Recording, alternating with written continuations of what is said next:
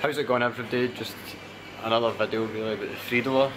So um, basically at the end of the last video we just left off with doing the engine in the back end. So Alistair's been ending a couple of things. I've just came and got a couple more things done on it so I've just to show you what he's been doing now. So you can see Alistair started mounting up all the fuel pipes.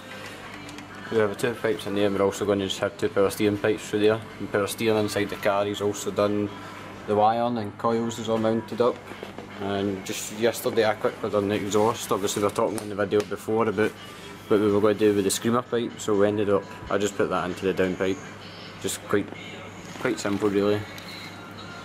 Um, and just been doing a couple of things that we needing done like the pull cords and I think Alistair's just in the middle of doing fire extinguisher and that inside. He's just going to get that mounted and get the fuel lines finished off inside that's just the wiring that he started doing. So I'm just going to quickly just fit the seat mount, just got the seat up there. I've got to fit that aluminium check plate that needs trimmed a bit just for the cage on that side. And then I think we'll be doing pedal box and stuff.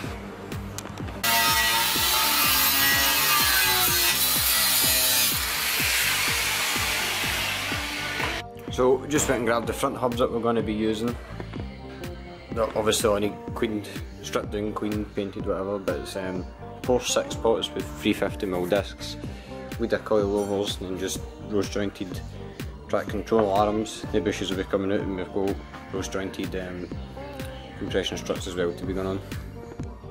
So Arthur's finally decided what box we're putting in and he's got a, well he'll probably, he can describe it, what box you got.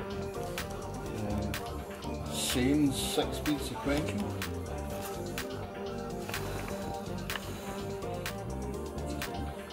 I need to start again, I was out of focus.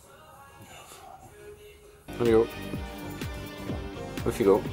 We have a Sains six speed sequential going in. And a twin plate paddle clutch. And a light flywheel.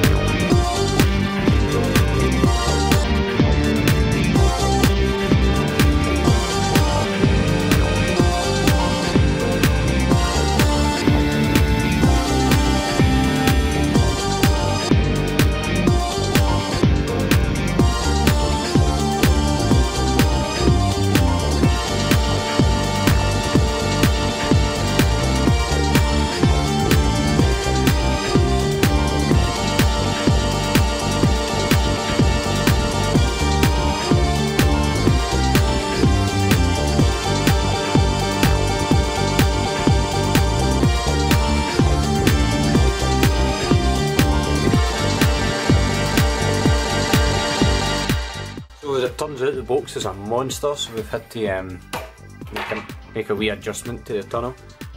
So hopefully it'll fit in this time. So that's the box in and we've had to obviously plate up two bits from the tunnel just because the size of the box and we've got a big grommet to go on the top there and then obviously you've just got your shifter back here. Obviously we've just screwed, well it's actually Torx that are holding named in, that's just so if we ever want to go back to an H pattern we can, just to fit in the certain regs. So that's that all done and Alistair's just in the middle of doing fuel pipes and all that. And I made a mount and all that yesterday for the box, I'll show you that in two seconds, it's all just been painted. So as you can see everything that's gone on the cars have been painted. Um, got a gearbox mount there, arms and the rest of the stuff. So that's probably all we're going to do now to the motor. Um, we've got a prop with that coming in tomorrow or the next day, so the next video will probably be doing that and getting our suspension on and getting it rolling. So hope you have enjoyed it and thanks for watching.